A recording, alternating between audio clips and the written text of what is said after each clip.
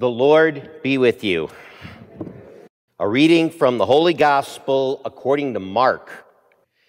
As Jesus was setting out on a journey, a man ran up, knelt down before him, and asked him, Good teacher, what must I do to inherit eternal life? Jesus answered him, Why do you call me good? No one is good but God alone. You know the commandments you shall not kill, you shall not commit adultery, you shall not steal. You shall not bear false witness. You shall not defraud. Honor your father and your mother. He replied and said to him, Teacher, all of these things I have observed from my youth.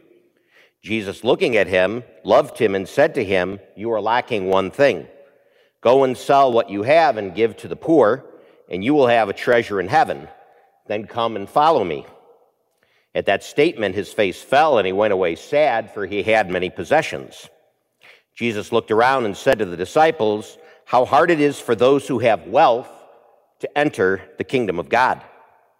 The disciples were amazed at his words, so Jesus again said to them in reply, Children, how hard it is to enter the kingdom of God. It is easier for a camel to pass through the eye of a needle than for one who is rich to enter the kingdom of God.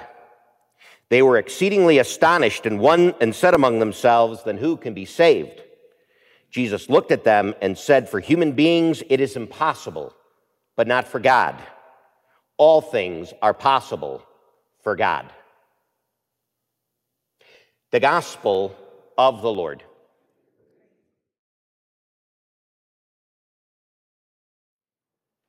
My homily today is inspired by Casey's General Store, that's right next door. So on Friday, Friday was a really interesting day for me. Uh, at about five o'clock on Friday afternoon, I was celebrating, I was uh, conducting a wedding rehearsal for the soon-to-be Jacob and Madison Burling, who were married on Saturday here in church. So the process of a wedding liturgy, when I take care of it with couples, is that you know we sit down and do all the paperwork, we do all the formation, and then on their wedding day, I ask them to write love letters about each other what they love about each other, what this relationship means to them, tell me stories that are humorous, romantic, or sentimental. So, two things came up concerning their wedding that really affected me and really was a foundation for what happened for the rest of the day. They, first of all, told me that uh, they loved each other because they knew that they were different, but they were the same. They were good compliments to each other. Madison said when they got their new house, she would do all the work and Jake would hold the flashlight. To which I thought to myself, you're making Madison do all the work while you are holding the flashlight. So, what I decided to do is I decided to go into the house, and in one of my desk drawers, I ended up finding an old flashlight. Well, the flashlight needed uh, two D batteries, and I did not have any D batteries on Saturday morning at 6 o'clock. So I went to the local Casey's general store because Casey's is open at 6 o'clock a.m., and I asked them for two batteries. The person behind the counter, she said to me, Boy, you're up early getting batteries. And I explained to them that I'm the Catholic priest who's celebrating the wedding here at 2 in the afternoon, and I wanted to give this flashlight as a gift to Jacob and Madison. To which they said to me, What a cheap priest you are to give them a flashlight. That'll probably be the only time they'll ever get a flashlight in their life as a gift. And then, second of all, she said to me, where is the bow for the flashlight? And I said, What bow? She said, If you're going to give a gift, you need to put a bow on it. So what I did is I went back to the house. I went to all the cheap Christmas decorations that I get at the Dollar General, and I found a bow. Now, the problem with Dollar General is that these bows, you know, you have the sticky back on it. If you're putting on a piece of paper, it's fine. But when you're trying to stick it on a flashlight, it will not stick. So I took some industrial sized uh, clear duct tape and I wrapped that sucker around the flashlight. So it was thinking this is probably the most tacky thing you could give a person is a flashlight with a cheap bow wrapped around in duct tape. That says love that you go out to that extreme to do this for them. So I gave them the flashlight and I put it here and came back last night to find out the flashlight was gone, which means they took the flashlight which means it may have seemed like a small little thing, but really, if you think about it, I really like the image because in the darkness, you know, Easter Vigil, we do this. In the darkness, you have the Easter fire outside. You light the Easter fire, you bless the Easter fire, and then you take the flame from the fire and you give it to everybody else's candles, and then they carry the candles in the church. And I thought about this because last year I got chided at the other parish when we did it, because when all the candles came in, I would say to them, when you take a candle and you light it, candle lighting lesson number one, you take the unlit candle and you turn it sideways. You do not take the lit candle and turn it sideways, because if you take the lit candle and turn it sideways, we're going to have another service after this, which is called the cleaning of the carpets from all the wax that dripped on the carpets. Well, people didn't listen to me last year. They ended up dripping candles on the carpets, and so the people over at St. Pat's said, We need to figure out a way to do this. So I figured out a way to do this. I went on Amazon. I bought these things. AAA batteries. And just like that, you turn the candle on, and just like that, you turn the candle off. You get the impression of the lit candles, but you don't get the wax on the carpeting. I bought 300 of these for next year's service, which will last about a year and a half until somebody steals all the candles, and then I'll have to do it all over again. But the image is important. In the darkness, you need the light. If you have one light, you can get by. But if you have an entire church that comes together and the church is filled with these things, now all of a sudden people are able to get by.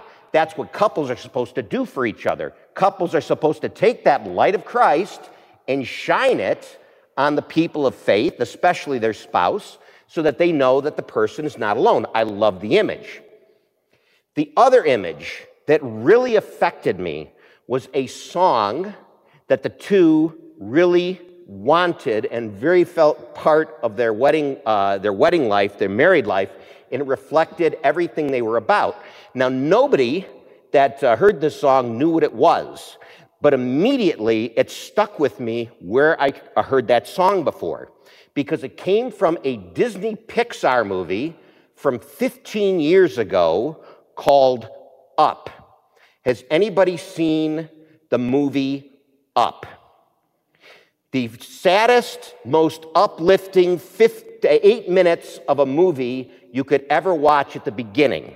You can get it on YouTube. I found it on YouTube. I put it in my death and dying course from YouTube. First eight minutes of the movie, forget the rest of it. It's the Disney thing, it's the Pixar thing. But the first eight minutes of the movie is about a friendship that turned into a courtship, that turned into deep love, that turned into sorrow, and that turned into death. This is a Disney Pixar movie, a cartoon. They start as friends, as kids who get to know each other. She's bubbly, she's excited, he is exceedingly reserved. He and she were opposites that very much attracted as kids. They got older, they got in love, they got married. She ended up finding out that she wanted lots of kids to find out she could bear none. This is a Disney movie. She could bear none. She was devastated. So they decided that they were going to take their resources and they were going to build their house and build their life together. They renovated their house. They had a piggy bank with all the extra money. They decided they wanted to go to Peru to this exotic place on vacation. But every time they got enough money to do it, something broke down in the house. They broke the piggy bank. They'd end up having to do something in the house. They got older. They fell more in love. They got older, and finally, Carl Fredricksen decided for his wife, Ellie, no matter what happened, he was going to get two tickets to Peru for them to fulfill their lifelong dream. They climbed up the same hill that they were kids so he could give this gift to her to find out she couldn't make it up the hill. She was dying with a debilitating disease. This is Pixar. They get to the end. She dies. His heart is broken. He doesn't know what to do because he was in so in love with someone that was so different to him that he just couldn't handle it. All in eight minutes. There's a German word for that. It's called Sehnsucht. In German, that is a word that cannot be translated into any other language. The sentiment is you are hurting so much, the pain is so much for something that you really loved but is unattainable to get, that you crave and desire it, and once you found it, to lose it breaks your heart. Better to have loved and lost than never to have loved at all. That was the theme that echoed itself throughout a Disney Pixar movie as Carl Fredricksen tried to navigate through life after his wife's death. I thought about that movie and I thought about the sentiment, and then I thought about what happened after I had the wedding rehearsal. I had a seven o'clock mass in Spanish over at St. Patrick's. I went to bed on Friday night. It was an exceedingly long day.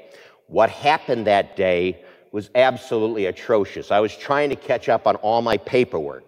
At 8 o'clock in the morning, I found out somebody accidentally broke the power lines by our gymnasium, and the power lines were laying on the sidewalk on the uh, driveway of the house we owned right next to the gym.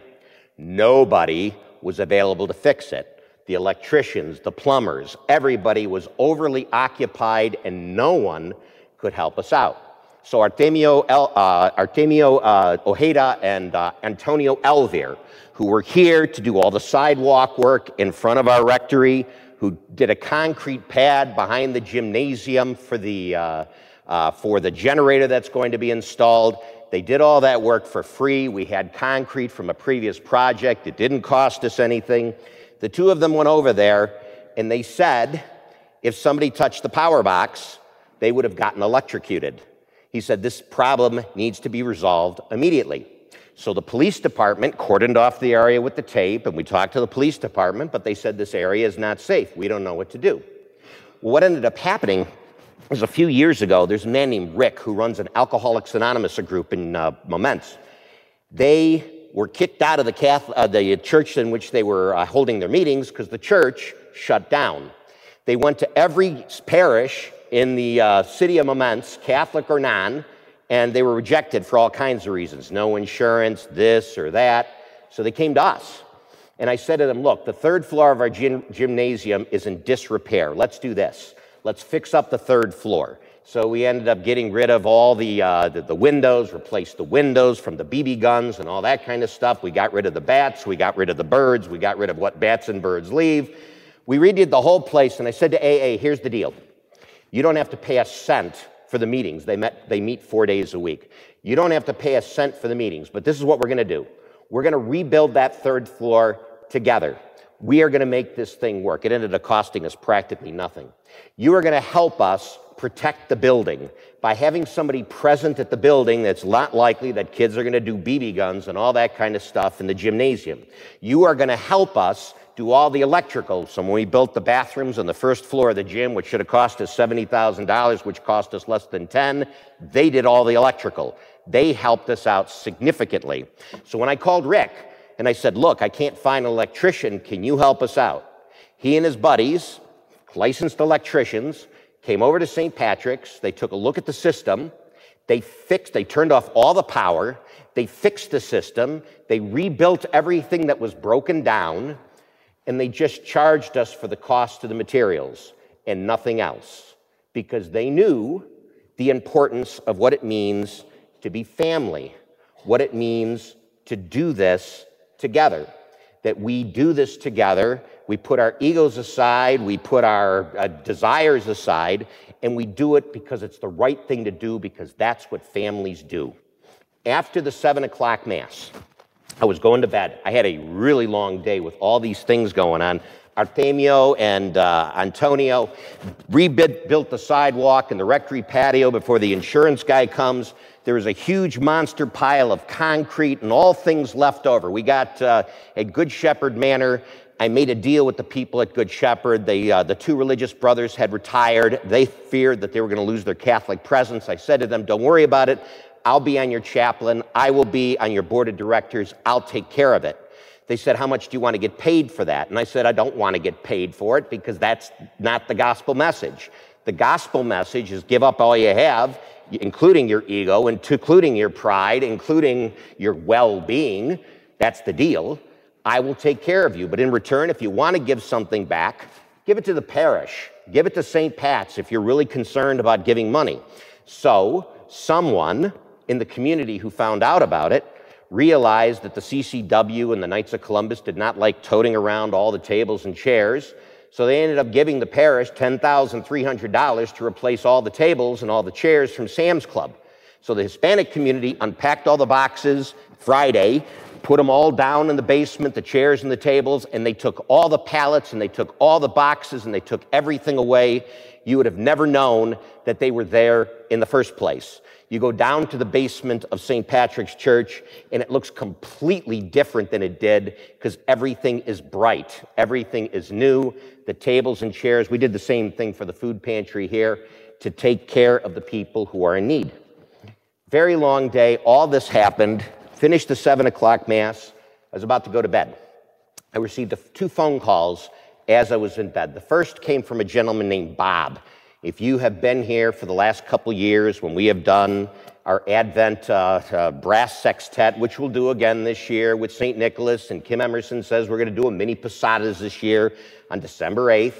The person who helped out with St. Nicholas was celebrating with his parish a welcome weekend, and they were getting everything ready on Friday night when he got into his car to go home and he got blindsided by another car.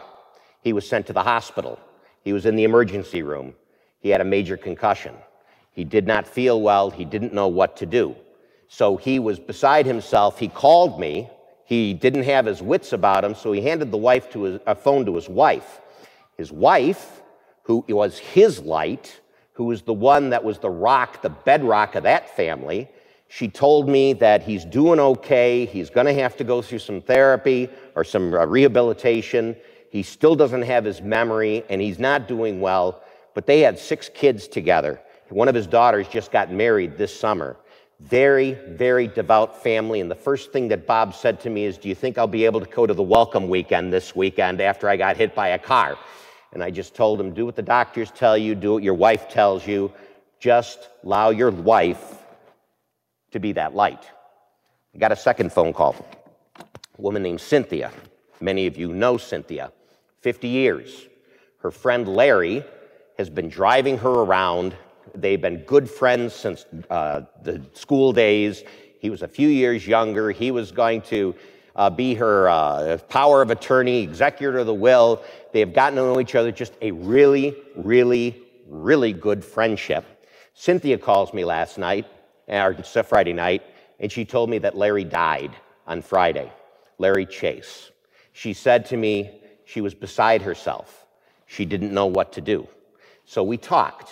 Now, luckily, there was a person that said to me over the last two weeks that they were a previous communion minister at a different parish, that they, uh, they had done so many things in the parish by bringing communion, visiting the homebound. I had two people who were stealing like 20,000 hosts from me after Mass to go out into the community to bring community, communion to the homebound. This is a person that used to do this at her other parishes. She said to me, Is there something I can do? So I talked to Emma and I talked to this woman and I talked to uh, Cynthia and I said, I'll tell you what, let's do this. Larry's not Catholic. The funeral hasn't been set up as far as I know. But on Monday morning at 9:15 at St. Pat's, let's do a memorial service for Larry. I'm going to be there anyway. Uh, I got to take care of. I'm working on uh, online masses for Advent, so we're going to stick the Advent stuff up, and I'm going to do that. I did two online masses for Advent here. I'm going to do the two masses Monday. I said Monday, let's do a memorial mass for Larry. He's not Catholic, but he took care of you. It was a friendship that endured for over 50 years. You are that important. You are that important. Uh, Jake and Madison are that important. Every single one of you has a gift and a light. We may not always agree, sometimes we may not like each other, but we are obligated to love each other by the gospel message. And when someone is in need, this is what we do because that is what it means to love one another as I have loved you. There is no greater love than this, than to lay down one's life for one's friend. You are my friends if you do what I command you. And what I command to you is this that you love one another, that you be this light. That's important to me, and that's why that wedding was so important to me because it kind of carried me through the day from somebody getting electrocuted to having the our, our Alcoholics Anonymous and Artemio Ojeda and uh, Antonio Elvir and the Hispanic community with the boxes and all the other things that happened. That is important that we take care of those who can't take care of themselves. The person who ended up uh, asking if she could help out at the parish, she has now taken it upon herself to take care of Cynthia, to drive her Monday to the memorial service, to drive her to the doctor on Thursdays, to take care of going grocery shopping for her, and to bring her communion. That is what so many people in this parish do, and we cannot forget that, which is why those time and talent forms are so important for people to get invested in this parish to show people that we love them in God's name. I ask you to pray for David O'Connell. He contacted me Friday. He said he's going in for a procedure on Wednesday. He's asking for prayers. I ask you to pray for Bob Thompson. Bob has got the concussion. He's not doing well.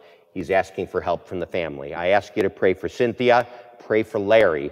Ask God to take care of him. I thought about Larry. I was telling this to Cookie. Larry was probably, whenever he came to our churches for everything, was usually the best dressed person in the church. He reminded me of Bud Case. Is that not true? Bud Case is always the best dressed person, and with two wives that he very much loved, he has done a lot of things in this parish, and he showed that much respect. We need to do the same. We need to remember those who are suffering. We need to take care of those who are in the pews. And we need to share this light with the people that we meet. This is our prayer.